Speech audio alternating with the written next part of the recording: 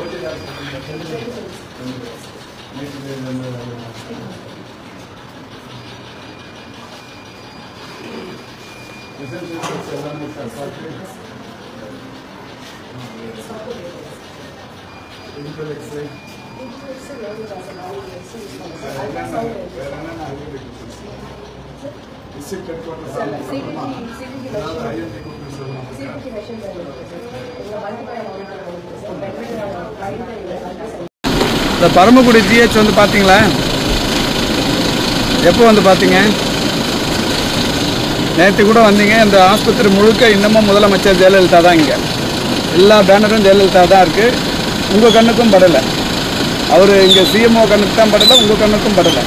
அவ்வளோ அழகாக நிர்வாகம் நடத்துகிறீங்க எல்லா வால்லையும் அந்த விளம்பர பேனர் எல்லாமே ஜெயலலிதா படம் போட்டு தான் இருக்குது அப்புறம் இந்த இது இப்போ இது டிஸ்ட்ரிக்ட் ஹெட் குவார்ட்டர்ஸ் ஆக்கி இவ்வளோ கோடியில் சிஎம் வந்து ரெண்டாயிரத்தி இருபத்தி மூணு பிப்ரவரியில் அடிக்கல் நாட்டிருக்காரு.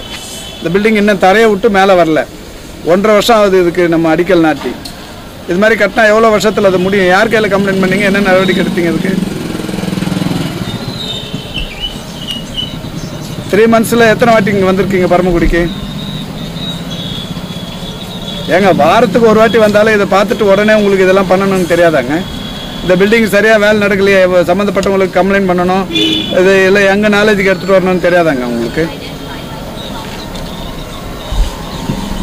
இப்போ நீங்கள் வந்து அப்படியே நாலு மாடி வந்துருச்சா? இல்லை நான் என்ன சொல்கிறேன் ஒன்றரை வருஷம் ஆகுதுங்க.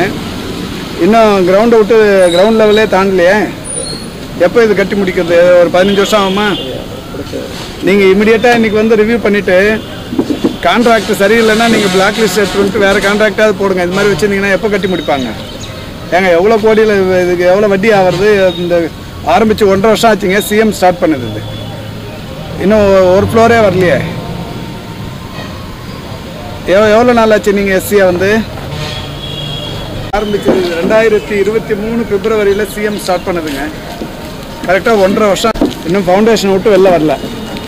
கொஞ்சம் இன்றைக்கி நீங்கள் உடனடியாக உங்கள் அஃபிஷியல்ஸோடு வந்து இன்ஸ்பெக்ஷன் பார்த்துட்டு இந்த கான்ட்ராக்டர் யாருன்னு பார்த்து ஏன் இவங்கட்டாவது விடுங்க அதை?